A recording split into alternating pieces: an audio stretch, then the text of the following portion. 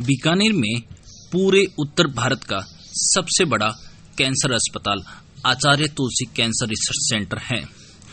यहाँ पूरे देश के अलावा नेपाल से भी लोग आते हैं। मरीजों को परेशान नहीं होना पड़े। इसके लिए एक संस्था, श्री कृष्ण सेवा संस्थान ने कैंसर मरीजों के लिए एक रैन बसेरे की सुविधा की है। इस रैन बसेरे में मरीजों के लिए निशुल्क रूप से रहने एवं खाने की सुविधा भी दी गई है। इन मरीजों के साथ एक परिजन भी साथ में रह सकता है। इन मरीजों के इन मरीज़ अभी उत्तर प्रदेश एवं जोधपुर, नागौर सहित राजस्थान के कई राज्यों से आ रहे हैं, आ रहे हैं। पहले सबसे ज़्यादा मरीज़ पंजाब और हरियाणा से आते थे। लेकिन पंजाब में चिकित्सकीय सुविधाओं में विस्तार के बाद अब आने बंद हो गई। ये सेवा लगभग आठ साल हो गए। क्या नाम है संस्था संस्था का नाम है श्री कृष्ण सेवा संस्था। और कितने मरीज़ आते हैं रोज़ाना और क्या क्या सुविधाएँ रोज़ाना लगभग 200 से 250 के करीब कैंसर मरीज़ आते हैं जिसमें 30 परसेंट यूपी के आते हैं। और बाकी अन्य राज्य से आते हैं उत्तराखंड और एमपी सभी जगह के आते हैं जितने भी मरीज़ आते हैं ना सब जगह से आते हैं। अब तक आपके संस्थान में कितने मरीज़ आ चुके हैं? अभी तो लगभग जो रजिस्टर्ड एंट्री है वो करीब अपने सत्तर हज़ार के करीब है।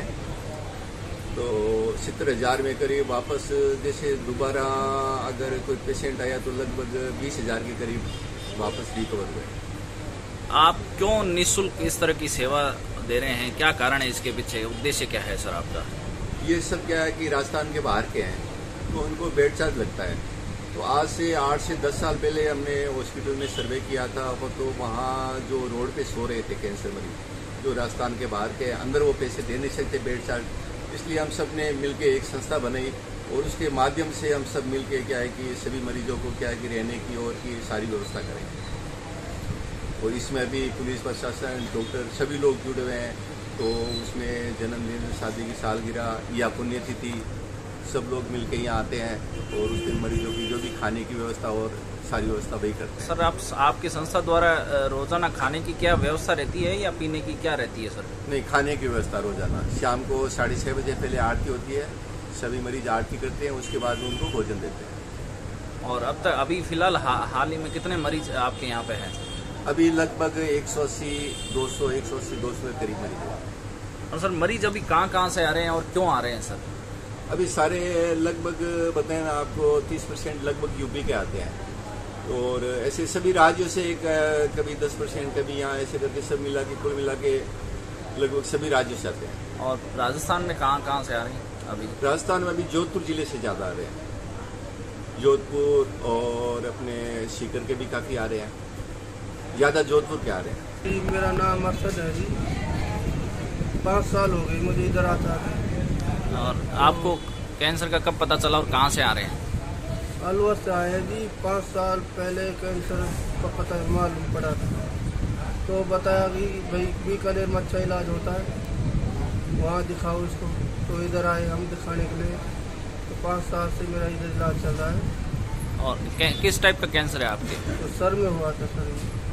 कैसे पता चला है सिर में क्या तो ये हुई थी एक सर में तो उसका मैंने अलवर ऑपरेशन कराया था।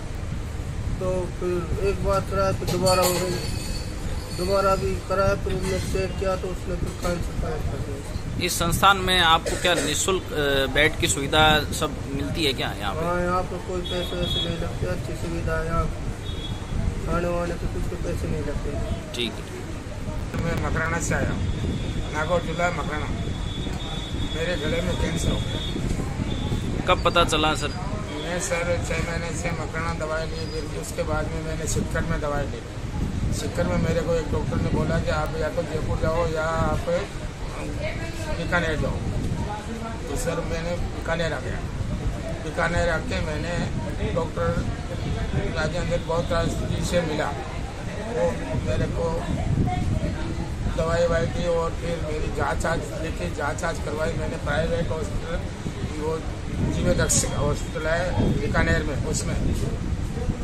उससे फिर जाँच आई बाद में दस पंद्रह दिन बाद में जाँच आई उसके बाद में मेरा इलाज चालू हो गया। और कितने समय हो गए आपको यहाँ आते हुए बीकानेर? को सर 2020 के अंदर मैं दूसरे महीने में आने लग गए और को कम से कम चार साल हो गए। और यहाँ संस्थान में आपको किस तरह की सुविधाएँ मिल रही है? बहुत अच्छी सुविधा मिल रही है रहने की खाने की पीने की सोने की हर व्यवस्था अच्छी है। किसी तरह का कोई चार्ज लग रहा है कोई चार्ज नहीं है सर यहाँ का